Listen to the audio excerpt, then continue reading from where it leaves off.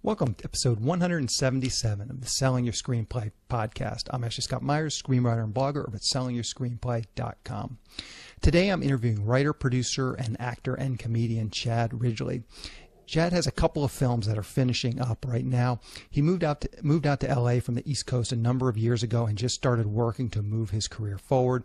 He sold a pilot to a studio and now he's got two feature films that are coming out. We walk through all of this and much much more. So stay tuned for that interview. If you find this episode valuable, please help me out by giving me a review in iTunes or leaving a comment on YouTube or retweeting the podcast on Twitter or liking it on Facebook. These social media shares really do help spread word about the podcast, so they're very much appreciated. Any any websites or links that I mention in the podcast can be found on my blog in the show notes. I also publish a transcript with every episode in case you'd rather read the show or look at something later on. You can find all the podcast show notes at www.sellingyourscreenplay.com slash podcasts, and then just look for episode number 177.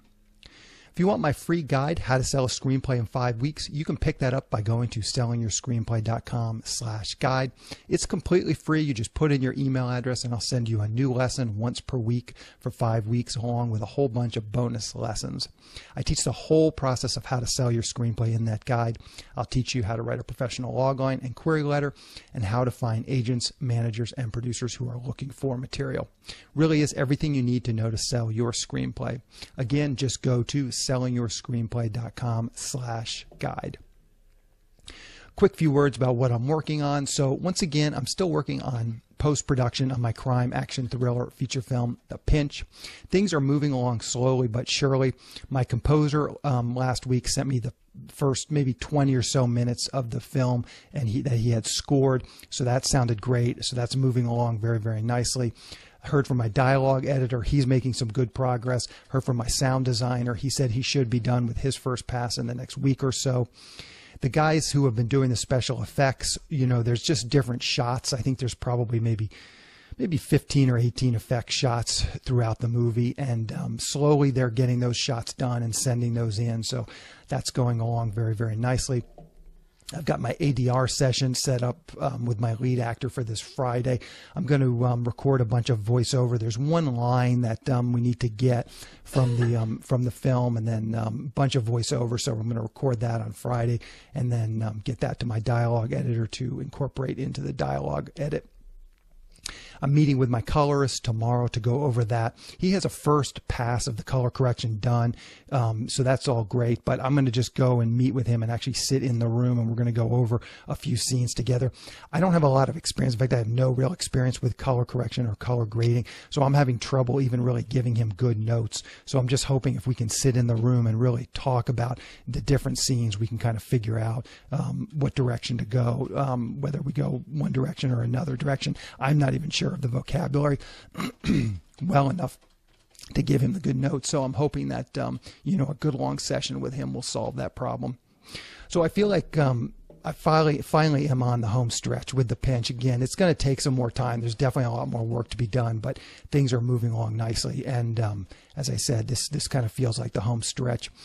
So I'm starting to think about distribution and film festivals for The Pinch. If anyone has any insight into some specific film festivals, please drop me an email. Sometimes it's hard to know which festivals are good and which ones aren't even worth entering. So if you know of one that's especially good, please just send me an email and let me know. And when I say good, all I really mean is a festival that's well run, organized, has good attendance. You know, I've been to those film festivals where literally nobody is in the screenings except for the filmmakers and and it just doesn't feel like those festivals oftentimes are even worth going to, much less entering, spending the money and entering. So if you have some real experience with a festival, please again just drop me an email and um, let me know what your experience has been with with those festivals. You don't even not so much the bad festivals. Really, I'm just looking for recommendations, um, ones that you think are good. Just just send me an email. I'd love to find a festival in Los Angeles to premiere The Pinch at. Since most of the cast and crew is here in Los Angeles, it would be nice to have a premiere here and then all the cast and crew could show up. And you know, they're they're usually very fun when you have a full packed house. Cast and crew is there, a bunch of other people are there. Um, those screenings are usually very very fun. There's just a lot of good energy, and um, so finding a festival in LA, I think would be would be super ideal. But um, doesn't always happen happen as nice and clean as that. So I'm thinking the same thing on distributors. If you have some good experiences with different distributors who work on low budget films, please do let me know that as well. I wouldn't mind to start building a list of potential places that I could take this film to once it's done. So, again, please do email me if you have any um, information on any of these two things. You can send an email to info at sellingyourscreenplay.com. So also I finished a first draft of my horror thriller script last week. I've been plugging away on that for the last couple of months. I'm hoping to have it polished up probably in the next few weeks and then I can start to figure out what I'm going to do with that like the pinch, I've written it so that it should be fairly easy and inexpensive to produce. Um, I've had a real good time working on the pinch, so I'm just trying to figure out what I'm going to do next. And I would say this is something that um, it feels realistic. I could probably raise, you know, roughly the same amount of money, maybe a little more, and um, it could it could get done. As I said, I've I've written it in such a way that the cast is fairly limited, and um, the locations, all the locations, are fairly easy to get, and places that I think I, I have access to. So we'll see. But um, next couple of weeks, I'll be working on that and polishing that up. So that's what I'm working on. Now let's get into the main segment. Today, I'm interviewing writer, producer, actor, and comedian Chad Ridgely. Here is the interview. Welcome, Chad, to the Selling Your Screenplay podcast. I really appreciate you coming on the show with me today. Absolutely, my pleasure. So, to start out, maybe you can give us a quick overview of your background. Um, where did you grow up, and how did you get interested in the entertainment industry? I, I grew up in Washington, D.C., um, born in Washington, D.C., raised out there, went to uh, University of Maryland, studied uh, radio, television, and film out there at first. Um, let's see, always been interested in filmmaking. Uh, in fact, my uh, my grandmother gave me an eight millimeter film camera, which I used to shoot my uh, my first my first movie when I was eight years old. Huh. Uh, it was it was, it was on eight millimeter film, and it was it was called "Who'll Stop the Rain," uh, in, based on the the Creedence uh, uh, Clearwater song. Uh-huh. Um, I was, was, trying to make a very artistic statement at eight years old because uh, it was uh, it was a it was an anti-war film. Um, that I made at eight, which we shot in my basement at my parents' house in my backyard, nice. using some models and whatnot. Uh-huh. in fact, I actually had to do physical film splicing on that. Yeah, sure, sure. Which was something you don't see too much of these days. Yeah, but uh, that's that's how I got started. Okay, and then talk about maybe some of your first steps to actually turning this into a career. Um, you graduated from college. What did you do next? Um, just before the interview, you mentioned you do a lot of stand-up comedy, acting. Maybe just take us into those first couple of steps, um, actually turning this into a career and, and, and earning a few bucks. Well, I'd always wanted to, to pursue acting and writing and comedy. Um, but uh, after college, I actually worked uh, uh, just outside of Washington, D.C. as a police officer for a number of years. Huh. And uh, it was it's kind of funny. I never actually wanted to uh, pursue law enforcement, but I got a role on a TV show that was shooting out there. So I went on some ride-alongs uh, with the police, where you know they let you ride around in the car with them during their shift and totally by accident, I fell in love with the job. I was like, wow, this is exciting. This is, you know, I want to do this. So I, I decided I would do that for a few years and then, uh, and then move out to LA. Um, so that, uh, that actually took, uh, took a little bit of, uh, convincing me to leave that job because it was such, it was such a great career. I really, really enjoyed it, but, uh, it wasn't my true calling. My true calling was certainly, uh, the acting, writing, and producing. So came out to LA, started doing uh, producing my own web series, uh, comedy web series, sketch comedy stuff, and uh, ended up selling a, uh, a, show to Fox. Um, they ended up producing a pilot called the uh, the Chad Ridgely Show, which unfortunately didn't go anywhere, but it was still a, a, real big victory to have that kind of a a sale, and it was very validating to have a a network studio be interested in, in my content. So yeah, then I was like, okay, so I'm on the right track. So I started doing that, and I started doing more uh, short films, and uh, and now I'm doing features. Okay, let me back up just a little bit. I get a lot of emails from people, and I think, excuse me, I think your perspective would be interesting I get a lot of emails from people. They're in a similar situation where they have a career way outside of Hollywood and they're wondering, how do I know when it's time to make that move? Um, maybe you can talk a little bit about your preparation. Did you save a bunch of money? Um, you know, and how did you even know where in LA to move? Maybe just some, some tips and tricks about people that are thinking about moving to LA. Maybe you have some advice for them. Sure. Um, now, I didn't have as you're going to need some money, of course. Now, I didn't do it probably the most conventional way because when I when I moved out to LA, I just I just did it cold turkey. I drove across the country. It took me three days. Um, I had all my stuff that I was bringing in my car, so I didn't want to leave it and get a hotel room for fear someone would break into my car. So I slept in my car each night, and then I would wake up and just keep driving. So I got to LA, and uh, I didn't know a soul out here. Um, I didn't I didn't know anybody, but uh, I kind of dove in um, feet first, and of course um, as my luck would have it, uh, that's right when the writer's strike uh, began to, to occur. So there was a lot of work that wasn't happening for uh, for writers and, and actors mm-hmm. at that time. But um, I started uh, just doing the legwork and getting the uh, getting you know the headshots out there, the resumes out there, the writing samples out there, and it was really it was very very tedious and uh, and it can be very discouraging. Um, but my mentality was I'm doing this and uh, I'm not quitting. So I didn't have a plan B, and uh, and I didn't give myself a timeline.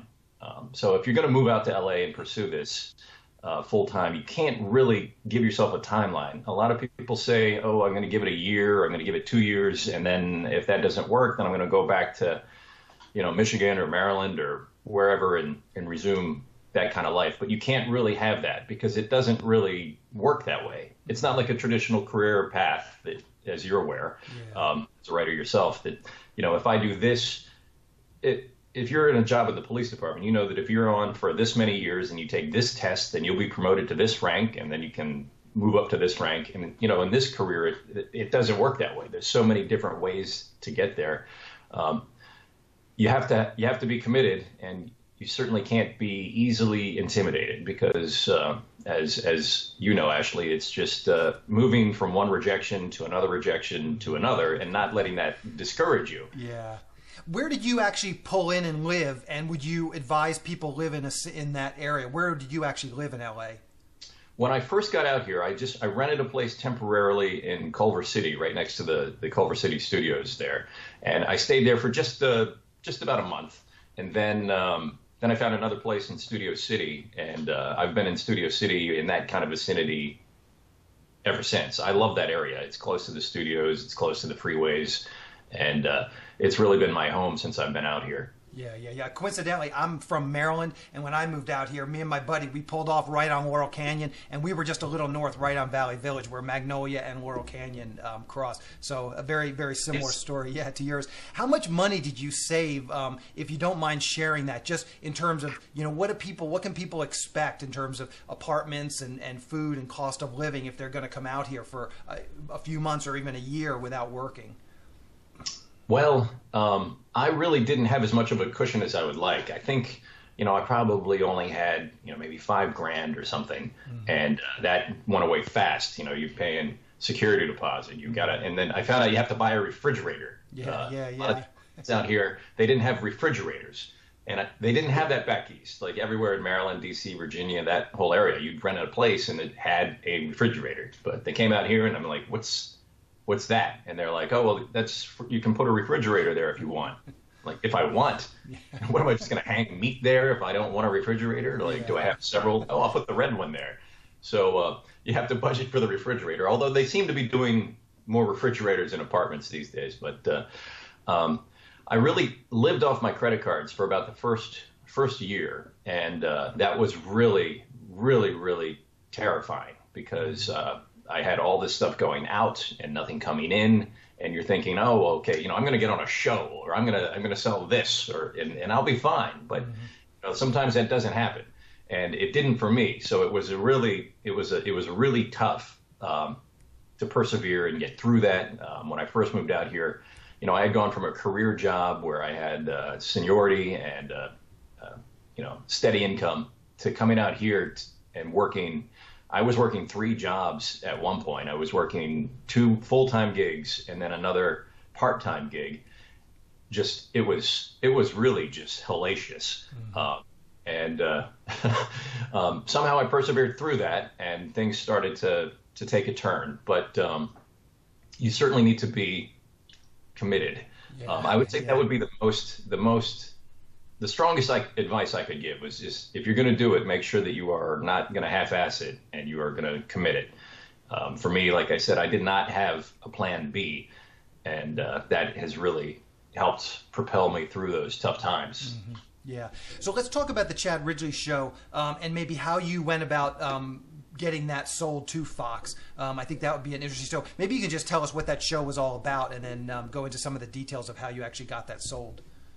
Sure. Um, one of the things that I learned early on in LA is you have to be able to make your own content. So that's what I started doing pretty much early on. I started making my own sketches, uh, producing my own sketch comedy stuff, and just blasting it out online. I had a, a number of uh, pretty successful web series. Um, there was a, there was a show I did called uh, Healthy Tips, which is about this Russian doctor who uh, thinks the show is called Healthy Tits, and uh, it's uh, it's network safe. I mean, it's all innuendos and play on words and stuff like that. So uh, he was he, he, had a pretty successful run, and then I had another character that uh, um, was hosting a, a, game show called the Gay or Not Gay Game Show. So we did a number of episodes of that, and uh, I was also in Groundlings, which is a you know, improv school and improv troupe. Mm-hmm. So I did that for a number of time. And Groundlings is uh, is very character based, very character oriented. So it really gave me a lot of strengths in terms of making individual characters for for sketches. And uh, so I had all these, uh, I had all this content, and some of it was doing pretty well.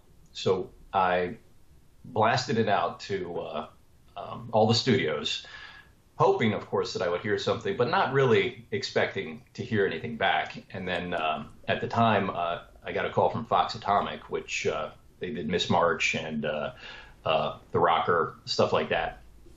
They uh, eventually they went away. They folded into just Fox Studios in general. But uh, I ended up getting a meeting with Fox and went in, and it was a real successful pitch meeting. And that led to another meeting, which led to them offering to uh, to produce the pilot, which was amazing. And I think at that point, I was definitely hooked on LA. I, had been out here a couple of years at that point, and uh, uh, for me, there was no turning back because once I had that kind of a validation that the stuff that I thought was funny, somebody else thought was funny and was willing to put money behind it, then I was I was like, okay, all right, I'm I'm I'm in it.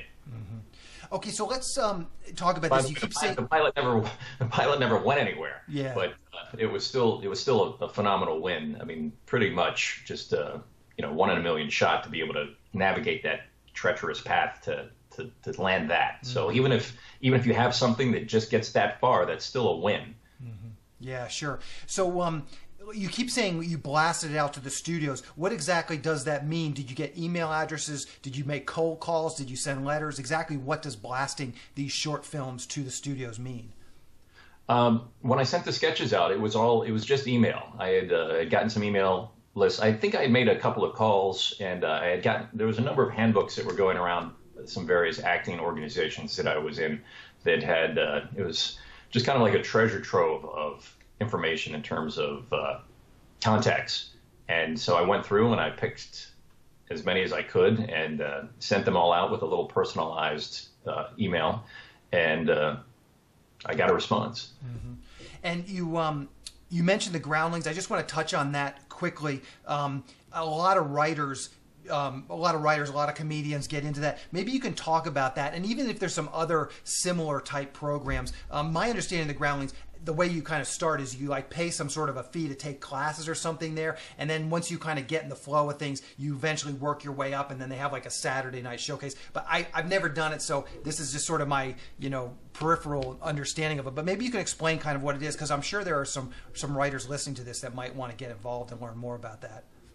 Sure and they do have a writing program and it is primarily a school. They they they do bring you in you audition for the for the school and uh, then they put you onto a certain track. And of course, you're paying as you go and, and move up the ladder until uh, you get to uh, uh what is called their uh, Sunday Company, which is like a, a little live SNL, if you will, which uh, runs for a while.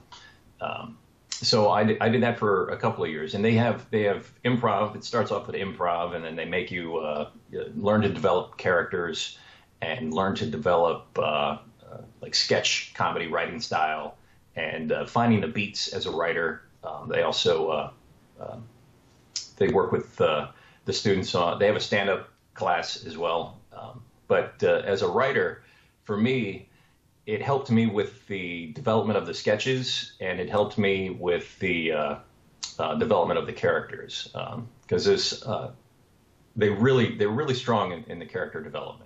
Um, so you'll if you just participate in that, you'll end up with a number of solid characters which you can plug into your different sketches, and then of course you'll be writing for those as well. Um, I had already had a pretty good idea of, of the sketch structure because I had been doing that uh, at the same time and, and before, but uh, it, it's great. And then another nice thing about it, of course, is is just the networking from your classmates. Uh, you're going to meet so many people that are all ambitious and doing the same thing, and you're going to find people that you can plug into your own stuff that you're making. And uh, in fact, I've still, I've still that, that was that was six or seven years ago, and I'm still I'm still in touch with a number of those folks. Mm-hmm. Yeah, yeah.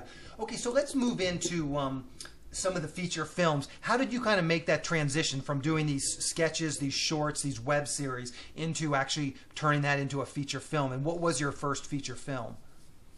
Uh, I started doing short films first um, to kind of get the uh, just the, the, the process down because there's so many mechanics that go into to producing a film. So I started doing short films, and uh, since I, you know I'm doing most of the stuff, so I needed to be uh, uh, proficient in, in pretty much the entire process. So I did uh, I did a couple of shorts. I did one which was a short thriller um, called The Hand of Now which is uh, was nice. It was a, a, a, friend of mine, Dan Stronczak, who wrote uh, the, the, In the Name of the King film um, a number of years ago. He wrote that for me, and uh, the next one I did was uh, was a short called Acting with Sharks, which is a comedy um, which takes place uh, in a workshop um, setting where uh, it's like a casting director workshop that you've probably heard about and uh, except the instructor's crazy, and uh, the actors are signing up to learn how to act with sharks, and uh, and that that was born out of a, a real situation in, a, in an acting workshop, uh, which uh, which I was in, and inevitably in any of these workshops, uh, Ashley, you know, there's always somebody that asks the question that is like, what? But uh, the casting director was talking about how she had just cast a project where the actors needed to feel comfortable working with real sharks and of course, somebody asked, well, you know, where do you learn to act with sharks? And I was like, well, in the workshop. Duh. So I went home and I wrote Acting with Sharks and uh, um, uh, wrote, produced, and directed that. And uh, it's pretty funny. You should check it out. And then it's uh, uh, um, and then from there I kind of graduated to uh, features. I figured once I had those down, um, the process for making a short is just the same as it is a feature. It's just longer and more of it and more money. But uh, once uh, once I had that, I was ready to to take the leap into features. My first uh, my first feature was uh, Massacre on Aisle 12, um, which is uh, just been released. Just been released now. It's uh, if you if you got Netflix, you can add it to your physical DVD queue. Um, if it's on all the streaming services, the DVD release is is coming up and uh, from there we expect uh, uh, you'll be able to pick it up on on larger platforms as we go. Uh, we've we've met with uh, with some of the the larger larger ones. So I can't say yet, but uh, yeah, yeah, yeah. hopefully there. But Massacre was a was a was a horror comedy script um, that um, I initially I initially found on um, Inktip, which is a a service as you're familiar with that writers use to uh, to kind of get their scripts out there. And uh, so I found I found it there, and uh, it was the original script was uh, by a guy named AJ Villa, and uh, it was it was about 125 pages. It was uh, it was definitely written with a, a, much higher budget in mind, and in my in my arena, it would not have been producible. But um, I teamed up with my producing partner Jim Klock, who runs Code Three Films, and um, we agreed that uh, we could develop that and make it something that that we could produce. So uh, I did a, a, number of heavy rewrites on it. Uh, I got it down to a you know producible 88, 89 pages, and uh, added some characters, and, and made a lot of changes to the story that could get it where I wanted it and incorporate more of my style of, of humor. And uh, from there, um, uh, Jim directed it. He co-directed it with uh, William Mark McCullough, and uh, um, we shot that in uh, Savannah, Georgia, at the end of 2014. Okay.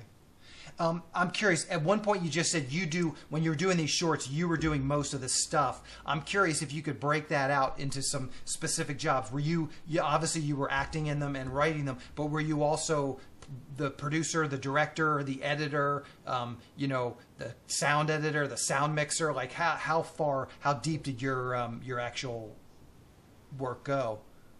Uh, for the shorts, uh, okay, so um, Annie Lukowski directed The Hand of Now. I directed Acting with Sharks. Um, the uh, on the producing side, of course, that was uh, just all of that stuff: the financing, the producing, uh, acting in it as well.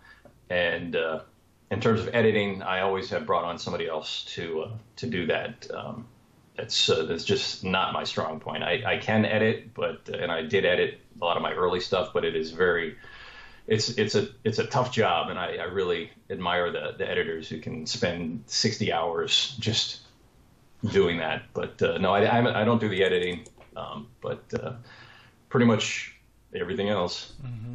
How many scripts on Inktip did you read before you found this one that you liked and wanted to produce? I found uh, well, I, I, read a lot, and I still do. In fact, I spend uh, I spend a lot of times uh, reading your pitches um, and uh, reading uh, this, the ones that come through on Inktip, and uh, I probably read. I was looking for a I was looking for a horror comedy, so uh, I probably read maybe 15, 15 scripts, I think, okay. and before I found one that that I liked. Uh, you know, the nice thing about these services is you know you you can read the log line and the synopsis, and that that kind of tells you right away if you want to uh, if you want to read it or not. But uh, you know, the the Inktip sends out a, uh, a, magazine with all of them, and what I'll do is I'll just go through and uh, I'll, I'll, bookmark them, and then circle the ones I want to read, and then I'll uh, I'll reach out and read those. But uh, and it's the same with with yours. Uh, when your when your emails come through, I, I know that I've reached out to uh, some writers, and they've been very prompt in, in sending their scripts over. Okay, and I'm curious um, if on the business side there were some things about this script. I mean, we can see the poster behind you. Um, you know, there's a half-naked, you know, gorgeous woman with with big boobs. Um, was was there something where you taught is this just sort of your flavor of comedy? Um, was there something you've talked to distributors that said yeah this is a kind of movie we think we can sell what sort of made you gravitate towards horror comedy as opposed to maybe broad comedy or any number of other comedies that i'm sure you could plug your humor into? Well i wanted to do really comedy. I mean as a comedian it's it's just it's really my favorite thing. Yeah, I, yeah. Love to make, make people laugh.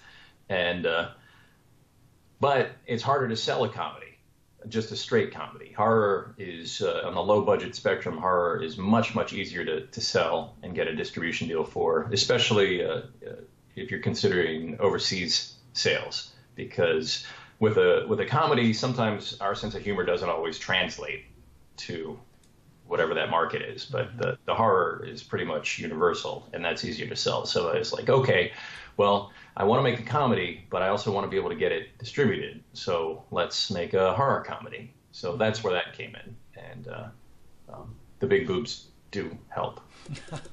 so um, it, it when I watched the trailer and it looked very very contained inside this this um, one store and I'm curious if again when you're reading that script off of Inktip did you know you had that location? Was there some sort of pieces that as you're reading this script you're thinking yeah we could shoot this because um, you knew you had a location that would work? Well going back to, to seeking out the script, uh, I was looking for one that was very minimal locations. Mm-hmm. And so when I found one that, that did take place in one location, that, that really piqued my interest.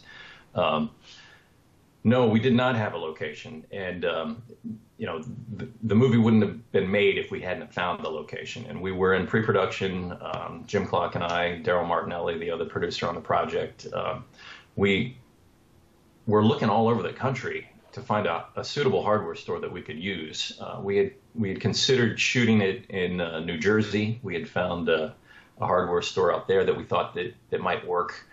Um, and uh, Daryl Martinelli um, went out and, and met with them, and uh, they uh, we were kind of concerned about how they would think about the script because it is edgy humor and and it is uh, uh, well you know there's there's a couple of you know sex scenes and stuff like that in there. So it's uh, we waited till the last minute to send them the script. And then when Daryl got in there for the uh, for the meeting they're like whoa uh, have you read this? And he's like yeah. They're like, ah, you know, we're a family store, so we, we don't really want to do that. And we're like, ah, okay, well, we get it. So um, we ended up, uh, our co-director, uh, William Mark McCullough, um, lives in Savannah, Georgia.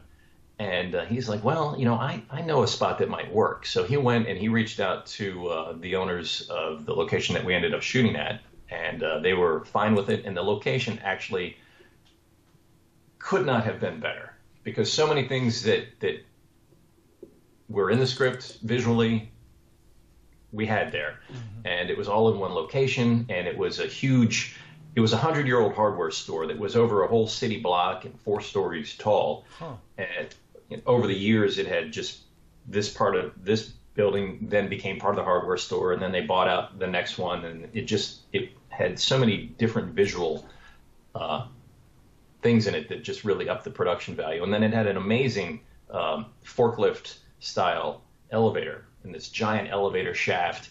So of course uh, you'll do rewrites uh, to suit your location. Mm-hmm. And uh, one, as soon as I saw that elevator and that elevator shaft, it was I was like, okay, somebody's getting killed here. like this is going to be a great kill.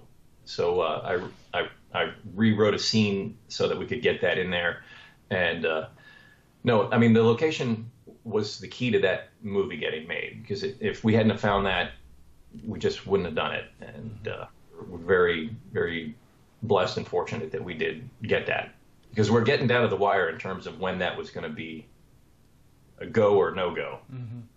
So let's talk about the um, process of, of raising the money and, and actually getting this thing into into production. Once you had the script kind of polished up, you had it where you wanted. What were your next steps to actually raise the money? And maybe you can talk about it, that a little bit, just how you went out and um, how you financed this.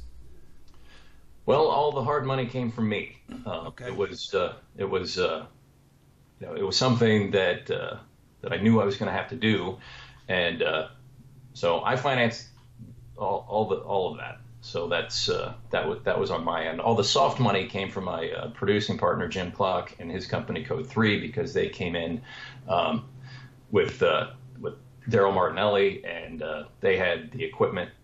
So with his equipment and and my money, we were able to to make this happen. Mm-hmm. But uh, it's uh, it's quite an investment, and you know I really had to to scramble to make that work. Um, you know I, I put a lot of it on credit cards. I uh, took out a loan. Um, but um, at the end of the day, I'm, I'm really, I couldn't be happier with the result. The mm-hmm. film is amazing and it's beautiful and it's, I'm just so proud of it. The work that, that everybody did on this and it just came together amazingly. So it, it was definitely worth it. And, yeah. you know, we have distribution. So that's a success. Yeah, perfect, perfect. Yeah, the trailer looks great. So I wish you luck Thank with you. that. Um, Thank so, got over got over a million hits uh, on, the teaser trailer. Um, was nice. amazing. Yeah, yes. yeah. So, um, so what's next for you? Maybe you can talk about kind of what the next step is after um, Massacre on Aisle 12.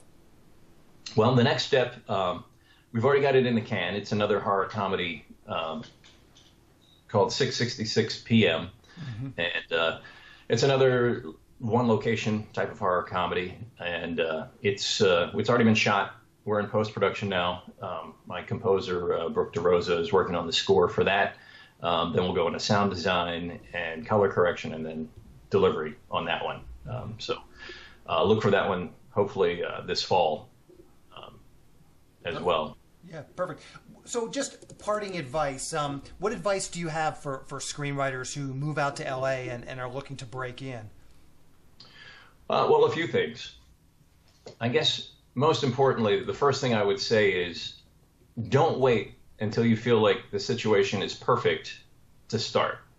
Because if you wait until you feel like everything is perfect, you're never going to be there, and it's never going to happen, and you're never going to you're never going to make it. You're never going to make the movie. You're never going to make the script. You never just don't wait. Don't wait. Jump right in. If you have a camera, grab it. Start shooting something. Like, just do it. Um, if I had waited until the situation was spot on to make Massacre, if I had waited until I had all the money ahead of time, I'd still be waiting to make it. So I would say, don't wait. Jump in there.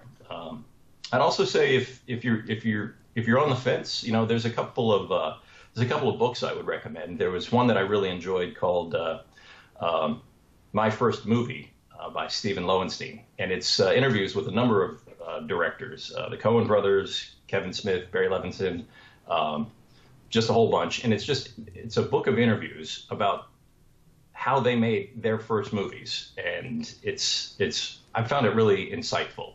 Um, uh, there was a, there's another good book uh, I'd recommend called uh, "What They Don't Teach You at Film School" um, by uh, Camille Landon or Camille Landau, and uh, it's it's kind of a just a, a, starter guide in terms of what to expect and what you'll need, and you know it's got a lot of useful information that uh, you'd learn it if you just went and did it, but it's nice to go in with that that that knowledge ahead of time.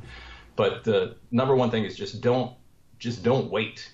Just get out there and do it, and you know, be prepared to fail. And if you fail, that's okay, um, because if you don't try, you're never gonna get it.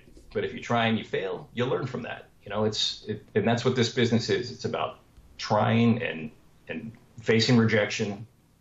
It's about not getting the, the answer that you want. Um, if it's if it's writing, writing is rewriting you know, for uh, for the Fox show. I mean, that was just rewrite after rewrite after rewrite. And uh, you know, some folks have the mentality. It's like, well, I've got it. Here it is. It's done. But you know, as you well know, it's writing is rewriting. And if you're not writing, write something. And if you're not shooting something, shoot something. I mean, you can use your your your camera phone these days. It's fantastic. So just don't dilly dally. Get out there and, and just do something. Mm-hmm sound advice. So, what's the best way for people to keep up with what you're doing? Um, if you're on Twitter, you can mention your Twitter handle. If you're on Facebook, you can mention your Facebook page. Anything you're comfortable sharing, and I will round it all up, put it in the show notes. But um, feel free to just mention any any kind of contact information. Okay, sure. Yeah, I'm on Twitter at uh, at Chad Ridgely. Um, that's R I D G E L Y. I'm on Facebook, same handle. Instagram, Chad Ridgely um, feel free to uh, to add me on those if anybody has any any questions. I'm, I'm always happy to uh, to help somebody out and uh, give whatever advice I can. Um, you know, I've got I've got two produced and uh, distributed features now under my belt, which uh, is is great progress. You know, and mm-hmm. people look around and they say, "Oh, this person over here is a is an overnight success," but you, you dig a little deeper and you realize, you know, they've been out doing it in LA for 10 years or so. Um, there's there's a there's a a saying attributed to Harrison Ford uh, in an interview where somebody asked him, "How did you make it?" And he said, "Well, I came out here on a bus with 100 people, and eventually 99 of them left." And it, that's so true. It's perseverance. It's it's networking. It's meeting people that it, uh, that you can work with. That uh, when you move up, you can bring them up, and when they move up, they can help bring you up. Um, relationships are exceptionally key in, in this business. And you know, people work with the same people over and over again, and you see that all the time. And uh, uh, something that I've been doing. And uh, anyway, I would just say, you know, networking, relationships, and and and do it. Mm-hmm. Sound advice, sound advice. Chad, I really appreciate your coming on and talking with me. I wish you luck with both of these films. And, um, you know, as you move along, you're always welcome to come back on. I love to hear um, updates from you. Awesome. I would love to. Thanks so much, Ashley. Perfect. Thank you, Chad. We'll talk to you later. Okay. Bye. A quick plug for the SYS Screenwriting Analysis Service. It's a really economical way to get a high quality professional evaluation on your screenplay. When you buy our three pack, you get evaluations at just $67 per script for feature films and just $55 for teleplays. All the readers have professional experience reading for studios, production companies, contests, and agencies. You can read a short bio on each reader on our website, and you can pick the reader who you think is the best fit for your script. Turnaround time is usually just a few days, but rarely more than a week. The readers will evaluate your script on six key factors concept, characters, structure, marketability, tone, and overall craft, which includes formatting, spelling, and grammar. Every script will get a grade of pass, consider, or recommend, which should help you roughly understand where your script might rank if you were to submit it to a production company or agency. We can provide an analysis on features or television scripts. We also do proofreading without any analysis. We will also look at a treatment or an outline and give you the same analysis on it. So if you're looking to vet some of your project ideas, this is a great way to do it. We will also write a logline and synopsis for you. You can add this logline and synopsis service to an analysis, or you can simply purchase it as a standalone product. As a bonus, if your script gets a recommend from a reader, you get a free email and fax blast to my list of industry contacts. This is the exact same blast service I use myself to promote my own scripts, and it's the same service I sell on the website. It's a great way to get your script into the hands of producers who are looking for material. So if you want a professional evaluation of your screenplay at a very reasonable price, check out www.sellingyourscreenplay.com slash consultants. On the next episode of the podcast, I'm going to be interviewing screenwriting coach Lee Jessup.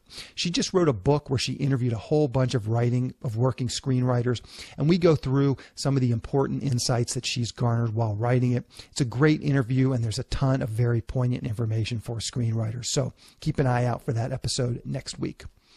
So to wrap things up, I just want to touch on a few things from today's interview with Chad as I prepare to record the podcast each week, you know, I spend a few minutes just trying to think about some of the lessons that I've learned from the interview.